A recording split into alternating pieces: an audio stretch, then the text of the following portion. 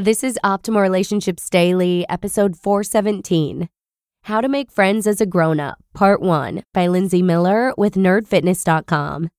Hola, and welcome to my show where I help you optimize your relationships. I'm Joss Marie, and today we have part one of an awesome post by Lindsay Miller, a guest author on Nerd Fitness. And before we go any further, I just want to give you a little heads up that I'm super congested still, as if you can't tell. Um, we actually had the influenza in our household, and our poor babies, Colby and Talon, both ended up with ear infections. Talon also had bronchitis on top of it, but gratefully, they've both turned the corner, and hopefully, Lee and I are only just a few days behind them. So, back to the show. I love how I learn essential and valuable life lessons from Colby and Talon all the time, so I'm especially eager to share this post with you. So let's get right to it and start optimizing your life. How to Make Friends as a Grown Up, Part 1 by Lindsay Miller with nerdfitness.com. Being a little kid was kind of the best, wasn't it? Between mandatory nap time, pajamas as acceptable formal wear, and an abundance of chicken tenders, kids have a lifestyle that can only be called ideal. But all that great stuff aside, there's one aspect of childhood about which I've become even more nostalgic lately making friends. About a year ago, I moved to a new city where I knew approximately no one. This is the fourth time I've made such a move, but only the first where I didn't have school or a job to provide scores of people who were contractually obligated to interact with me. Starting from scratch was a daunting prospect, but with a bit of inspiration from some wee humans, I figured out a few things along the way that helped me and might help you too. Today, we're going to learn how to make friends like we did when we were little. How do you level up from mere acquaintances to actual buddies? There's a lot that we big kids can learn from the smaller versions of ourselves, but let's start with three main lessons. Lesson number one play in the right sandbox. Kids know what they're into, Spend five minutes at a playground and it's clear. The daredevil is happily flinging herself across the monkey bars while she pretends not to hear her parents' admonitions. The future members of the rebellion are wielding lightsabers clearly disguised as tree branches. And the dreamy introvert is spending peaceful creative time under his favorite tree. Ask your family what you were like as a kid, and they'll tell you. There was probably stuff you liked, stuff you didn't, and not much in between. So, why as adults do we so often do things that we know we don't want to do? I'm not talking about life necessities like bills and laundry or horizon expanding experiences like traveling alone or learning a new skill. I'm talking about going to a crazy dance club when we'd really rather be at the premiere of The Avengers. Or joining a monthly networking group when all we want to do outside of work is talk about anything but work. Think about where you'll be happiest, most at ease, and have the most to say. Then go to there. Much of the time, when trying to meet new people, we're encouraged to just get out and do stuff. As we consider which things to go get out and do, let's listen to the little kid inside of us and stick with what we're into. This dramatically increases the chances of us meeting true friends and decreases the chances that we'll be miserable in the process. Careful readers will notice that this is exactly the same principle behind Steve's suggestion of the best workout plan, the one you'll actually stick with. Whether we're getting in shape or making new friends, it shouldn't feel like work or torture. And it doesn't have to. In fact, a group of nerdy strangers who met up for Camp Nerd Fitness last year might normally tell you that they suck at making friends. Turns out, they just needed to be in the right atmosphere. While playing in the right sandbox would be my advice to you at any point in history, there's truly never been a better time to make it happen than today. Wherever you live and whatever you're into, a group of like minded people is often just a few clicks away. Check out meetup.com or websites slash social media covering local events for some ideas that strike your fancy. Seriously, we're nerds. Let's use technology to our advantage. Lesson number two ditch your filter.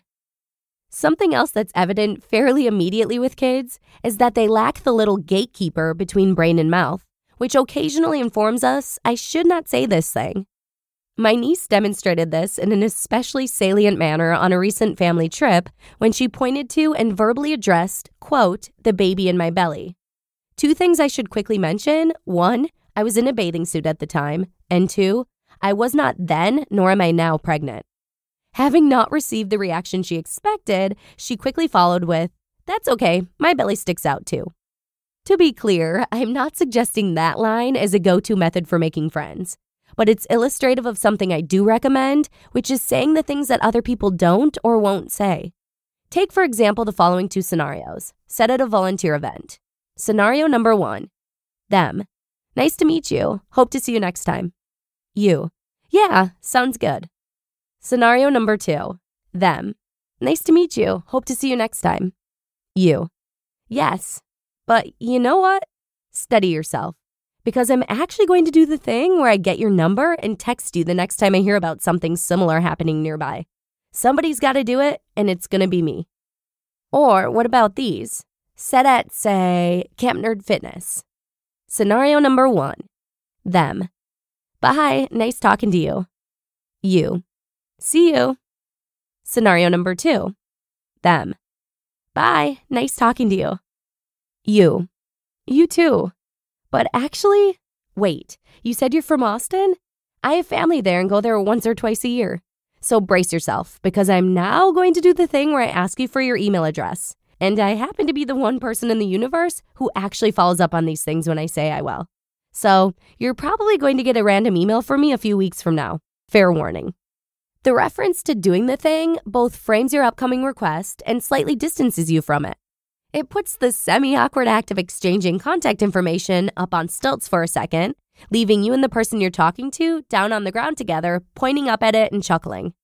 While it's additionally true that there's a confidence level involved in telling rather than asking, it could just as easily be posed as a question. For example, what if instead of just saying goodbye and never running into you again, I do the thing where I get your email and reach out the next time I hear about something fun going on? So often we let little connections lapse and fizzle out because each person assumes that the other would reach out if they wanted to, so then neither one does, and then the other doesn't either. Be the one who does. Do the thing. To be continued. You just listened to part one of the post titled, How to Make Friends as a Grown Up by Lindsay Miller with nerdfitness.com. I love what Lindsay says about having no filter. Isn't it so true how kids lack a gatekeeper between their thoughts and spoken words? I'm sure many of you, just like myself, have had experiences with our littles who casually blurt out things they shouldn't. The thing is that we're only shortchanging ourselves if we do things that we actually don't want to do. By listening to the little kid inside of us, we'll have a better gauge of staying honest with ourselves and sticking to what we're really interested in. This will give us a better chance of making genuine new friendships as adults. And with that, I hope you're learning as much as I am, and I'm looking forward to sharing the rest of Lindsay's tips with you tomorrow, where your optimal life awaits. Hello, Life Optimizer. This is Justin Malik, creator and producer of this podcast, but also Optimal Living Daily, the show where I read to you from even more blogs covering finance, productivity, minimalism, personal development, and more from incredible bloggers like Derek Sivers, Zen Habits, Mark and Angel, The Minimalists, and all the ones you hear on this show too. So if you enjoyed today's episode and like taking amazing blogs on the go, come on over to Optimal Living Daily and subscribe to that one too. And together, we'll start optimizing your life. You've been listening to Optimal Living Daily. Be sure to hit the subscribe button to stay up to date on each new episode and head to oldpodcast.com. That's O L D podcast.com for a free gift as well as more actionable tips and resources to help you maximize your potential. Thanks for joining us, and remember, your optimal life awaits.